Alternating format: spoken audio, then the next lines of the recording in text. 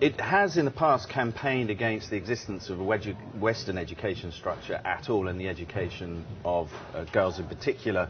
This is a school that educates both girls and boys, but oddly enough, in their statements, they haven't drawn attention to that. As you were referring to earlier on, they are saying that with the use of artillery and drones and other uh, systems of attack, uh, significant numbers of uh, uh, their civilians, civilians on the side of the Taliban, have been killed, and they want uh, they want the Pakistani authorities to feel the same pain as them. They're very explicit about that. They went on to say, interestingly, that the, the, there was a mixture of suicide bombers and what they called targeters, in other words, snipers or marksmen who'd gone into the school with instructions to avoid shooting the younger children. So this is an absolutely cold-blooded assault in the sure knowledge, not in, a, in, in, an effort to make a gesture or something, but with a specific set of targets that they were going to go after, older children and members of staff, and that is exactly what's unfolded.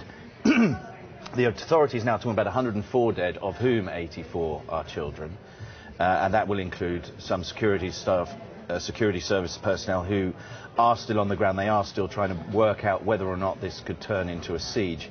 Generally speaking, in Pakistan, when it gets to the sort of moment that it could become a siege, the Taliban tend to have suicide bombers who then self-detonate so that they can't be taken uh, captive and then uh, subjected to interrogation and, and reveal uh, intelligence about their, their operations. But this is the first major attack that's been conducted by the Taliban in a, in a very long time, really. They've been really on the back foot. Their middle management has been pretty badly mangled, particularly by drone strikes, and the Pakistani army has got very much on the front foot, especially in North Waziristan. They've suffered a lot